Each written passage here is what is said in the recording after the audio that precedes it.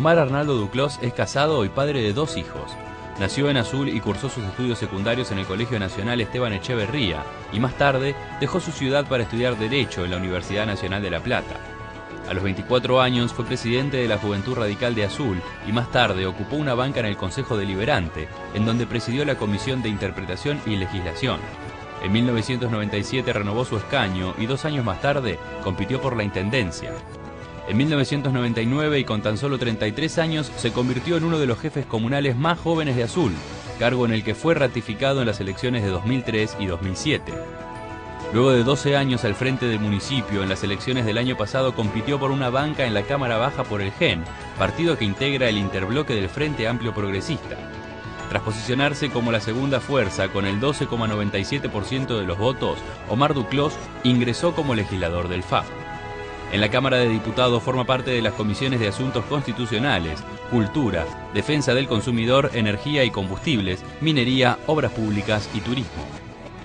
Acompaña la iniciativa de Hermes Wiener y Margarita Stolbizer de juntar firmas contra la re-reelección de la presidenta Cristina Fernández de Kirchner y a nivel provincial hizo fuertes críticas a la gestión de Daniel Scioli, a quien acusa de no tener la valentía de exigirle a la nación los recursos de la provincia.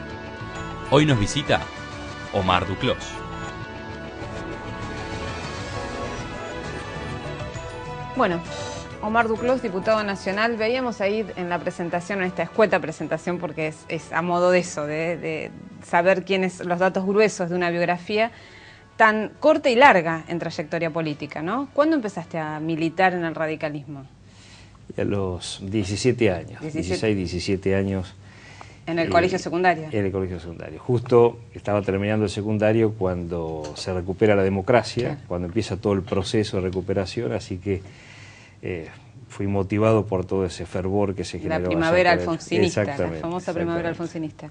Y después la universidad y eh, siempre dedicado, siempre... Siempre, siempre muy, muy absorbido, la verdad que es, la gran vocación de mi vida. Mm. Y trabajé en mi profesión también y hubo un tiempo en que compartía las dos actividades, tenía mi estudio jurídico de manera independiente y también seguía militando hasta que cuando entré en la Intendencia tuve que optar porque la función requiere una dedicación full time y a partir de ahí estoy en la gestión pública eh, dedicado plenamente. Y la verdad soy un agradecido a la vida por, poder hacer lo que siento, lo que me gusta y, por eso me esmero para hacerlo cada día mejor. Ahora, y en ese salto de eh, tantos años al frente de la Intendencia, ¿no? Tres mandatos en un partido eh, rico, fuerte de la provincia de Buenos Aires y después saltar a la Cámara de Diputados de la Nación, saltar en el buen sentido, no ser electo diputado nacional. ¿Cómo es ese cambio de la gestión a un poder legislativo que no, bueno, no, actúa concretamente sobre la posibilidad de cambiar lo que está sucediendo? Bueno, ha sido todo un desafío. Mm. En primer lugar, yo me autoimpuse un límite en la permanencia del municipio porque en la provincia de Buenos Aires no hay límite para las reelecciones para las intendencias. Pero yo creo que debe haber un límite y espero que la legislación, la ley orgánica de las municipalidades se modifique en algún momento, pero cuando acepté ser candidato por tercera vez ya públicamente dije que era el último mandato, me parecía un tiempo más que suficiente para completar una etapa, muchos no me creían en ese momento porque a veces cuesta creer que alguien se, se ponga límites para, sí mismo. Cuando, cuando hay un grado de adhesión en la ciudadanía interesante y bueno, cumplí con esa palabra empeñada y cuando todavía no estaba abierta la posibilidad de ocupar un cargo legislativo. Mm.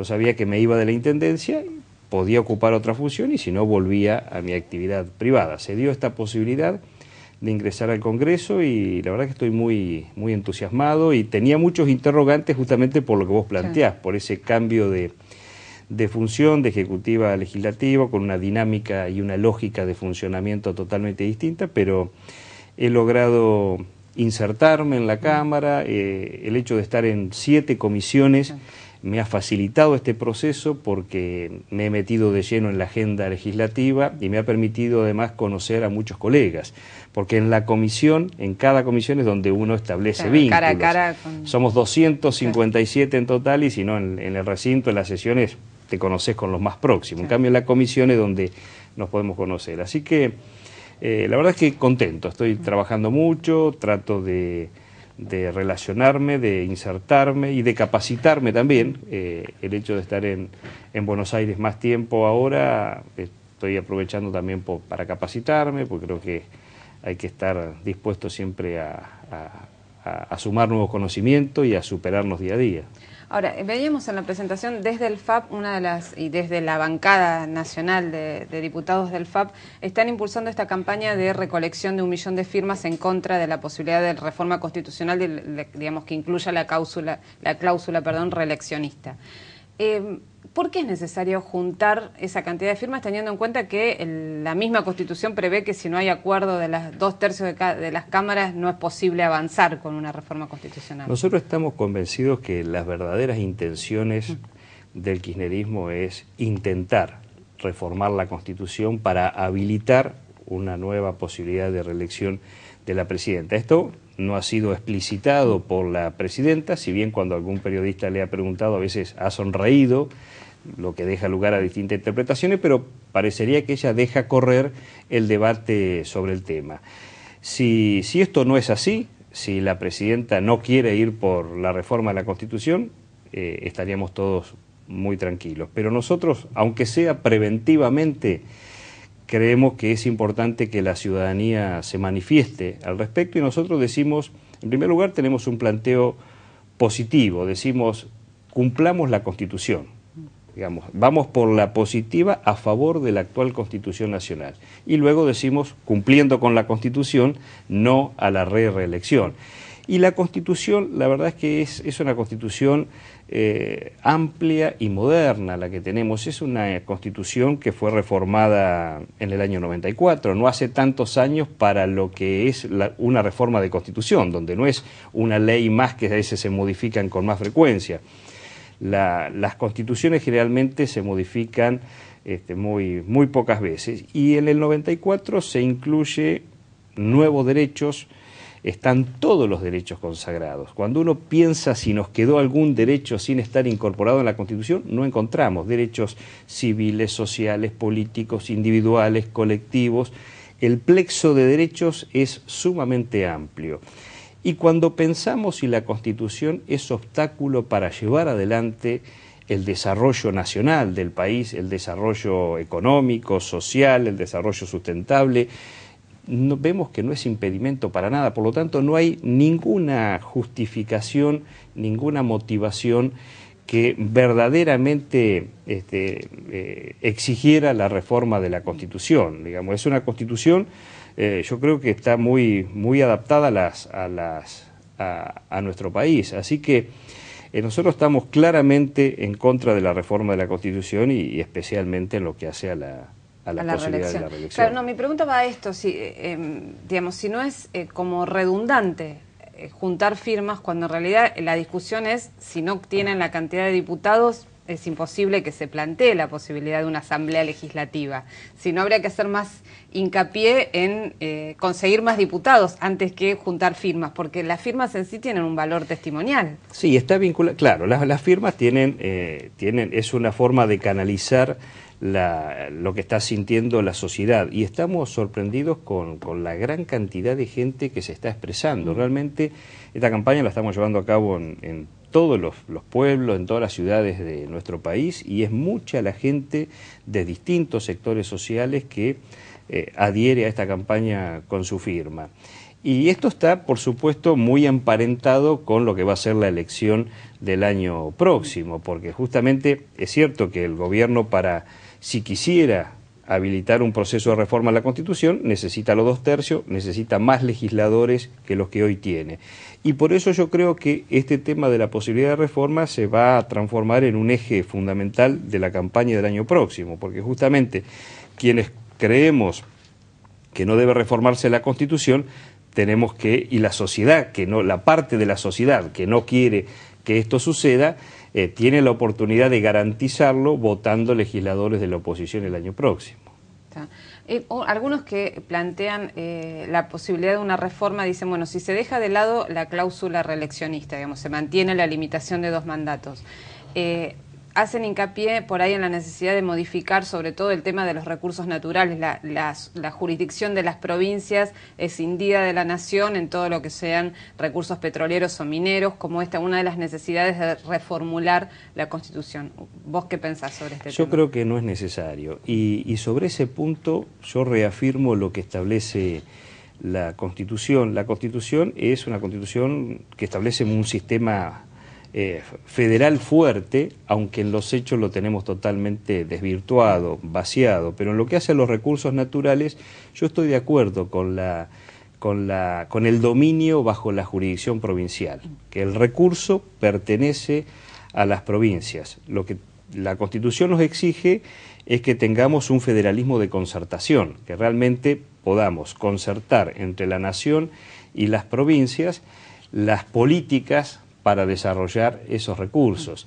La, mm, por ejemplo, cuando se eh, expropia IPF. Eh, se incorpora en la ley un consejo federal para justamente se genera el ámbito para que la nación con las provincias establezcan una estrategia compartida, atendiendo esa titularidad de dominio, esa propiedad del recurso en las provincias, pero también atendiendo la necesidad de tener una política nacional energética, hidrocarburífera, como en otros aspectos.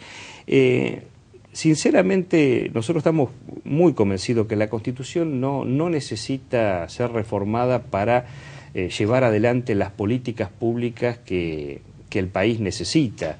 Eh, no es impedimento para, para ninguna de ellas.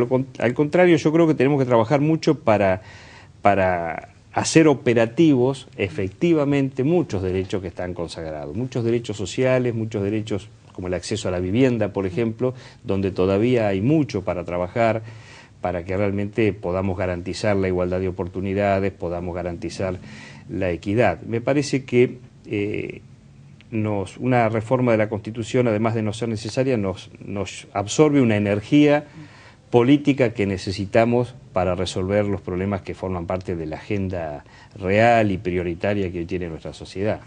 Pensando en las legislativas del año próximo ¿no? y en, el, en la amplitud del Frente Amplio Progresista, eh, ¿Cómo, ¿Cómo, analizan la posibilidad de ampliar las alianzas? Algunos dicen, bueno, lo natural sería que el Frente Amplio Progresista avance hacia una alianza con el radicalismo después del fracaso de lo que fue la última elección del radicalismo en la provincia de Buenos Aires en su alianza con De Narváez. Eh, ¿Existe esa posibilidad teniendo en cuenta, bueno, que desde, particularmente desde el GEN, la ruptura con el radicalismo bonaerense... muchos venimos del radicalismo. Por eso eh, fue muy fuerte, ¿no?, en su momento.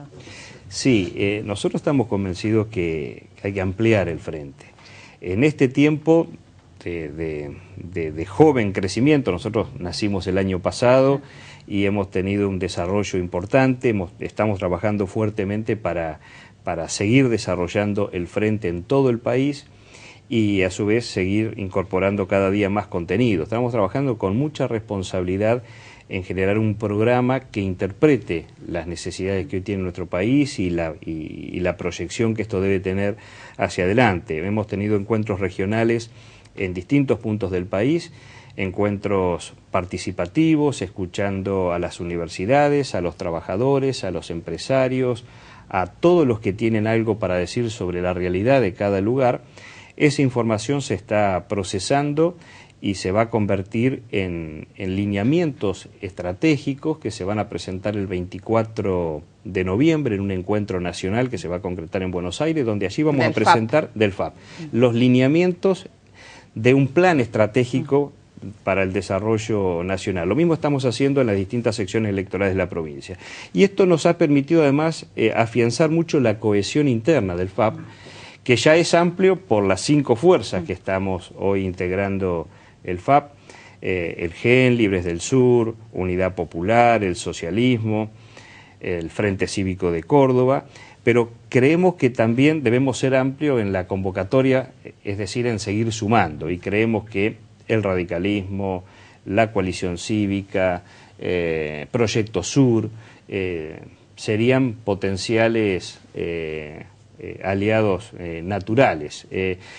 En algunos casos, no sé si institucionalmente, si con, los partidos podremos llegar a acuerdo, pero vemos que con sectores mayoritarios de cada fuerza tenemos una, una comunidad de ideas, una comunidad de proyectos muy fuerte. De hecho, se da en el Congreso, cuando tratamos temas, afloran las coincidencias. Entonces esto tenemos la responsabilidad de transformarlo en un proyecto político común. Ahora, justamente, usted, eh, vos decís, afloran las coincidencias, pero también en las votaciones en la Cámara de Diputados de la Nación afloran las diferencias dentro del FAP, porque, por ejemplo, en el proyecto de ley de expropiación de Chicone hubo todas las posibilidades posibles, valga la redundancia, en los votos de los legisladores del FAP frente a ese proyecto del oficialismo. Algunos lo aprobaron, otros lo rechazaron, otros se fueron y otros se, abstuvieron, digamos. Es, ¿Cómo se hace para, eh, digamos, yo entiendo la, necesidad de armonizar distintas posturas. Ahora, se supone que un partido o un frente tiene que tener una línea coincidente al, al momento de definir determinadas políticas, ¿no? ¿Cómo, ¿Cómo se hace para armonizar eso? Porque si no es cada uno se vota a sí mismo. Claro, lo importante es que todos hemos coincidido en la, en la visión, en la cuestión de fondo. En este caso que planteas, todos estamos de acuerdo con que el Estado debe ser el responsable de la fabricación del papel moneda, debe acuñar moneda y, que hay que fortalecer la capacidad operativa de la Casa de la Moneda para ese fin. En esto, que es la cuestión de fondo, todos estamos de acuerdo. Después aparecen los distintos, las distintas circunstancias que rodearon la propuesta que hace que a veces tengamos, cada fuerza tiene a veces este, un, posicionamiento distinto, porque a algunos nos pegaba más el, la sospecha de corrupción que involucra al vicepresidente de la Nación, eh, con todo el proceso de la ex Chicone, todo lo que, lo que se está investigando en la justicia, entonces eh, la sospecha de que esta propuesta de expropiación formaba parte de una estrategia para darle impunidad al vicepresidente. Eh, otros eh, este, consideraban que había que separar la cuestión judicial de lo que era la expropiación propiamente dicha.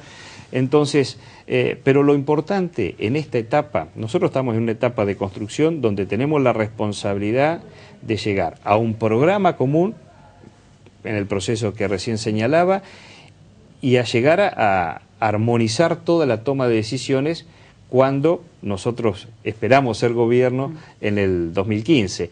En el ámbito legislativo y en esta etapa, eh, todavía y con esta, con esta este, eh, corta existencia que tiene el Frente todavía, todavía nos podemos permitir estos matices que en cierta medida también eh, enriquecen el debate y forman parte de la diversidad de origen que contiene el FAP, pero seguramente a medida que, nos acerquemos a la posibilidad de ser gobierno y que vayamos madurando el programa de gobierno, vamos a ir eh, también coincidiendo en la, en la en lo que es la toma de decisiones puntuales. ¿no?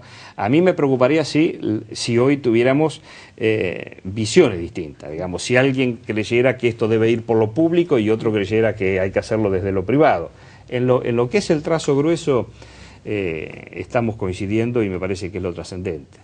Cuando decís nos estamos preparando para ser gobierno, estás pensando en gobierno nacional y necesariamente tenés que pensar en gobierno bonaerense, porque como está la relación de fuerzas en la Argentina sin la provincia de Buenos Aires es muy difícil llegar a la nación. Y a la inversa, también. Entonces, eh, y en esa provincia de Buenos Aires, ¿a quién imaginas como gobernador de la provincia de Buenos Aires del Frente Amplio Progresista, haciendo un poco de ficción política. Es, eh, prematuro todavía hablar de, candidaturas eh, y, cada fuerza que integra el, Frente Amplio eh, podrá tener sus legítimas aspiraciones y hay representantes con trayectoria, y gente muy valiosa en todas las fuerzas. Desde, desde el GEN vemos con, con un con una perspectiva muy interesante al senador Jaime Linares, que es un hombre que... El exintendente de Bahía Blanca. De Bahía Blanca, él fue dos veces intendente de Bahía Blanca, luego, eh, luego fue diputado provincial y, ahora senador nacional, que fue un poco la, sorpresa de la elección pasada. Eh, y felizmente este, llegó al, Senado y es un hombre que tiene mucha experiencia de gestión, conoce la provincia y, es un liderazgo que se va afianzando. Creemos que en él podemos tener una figura, como puede haber otras. Mm. Por eso digo, todavía es, es anticipado, eh, pero desde el GEN vemos, lo vemos a él así como la vemos a Margarita Stolbizer eh, consolidándose día a día como una figura ya nacional, que trasciende la provincia de Buenos Aires, que fue su ámbito inicial de desarrollo político, hoy la vemos liderando el FAP junto con Hermes Wiener, eh, lo vemos a Jaime Linares como con una proyección provincial importante. Bueno, en el próximo bloque vamos a seguir hablando sobre esto de qué es la provincia de Buenos Aires y cómo, qué sucede que hace 25 años que el peronismo con sus distintas variantes la gobierna y con muchas críticas sigue ahí instalado en el poder. En el próximo bloque seguimos con el diputado nacional Omar Duclos.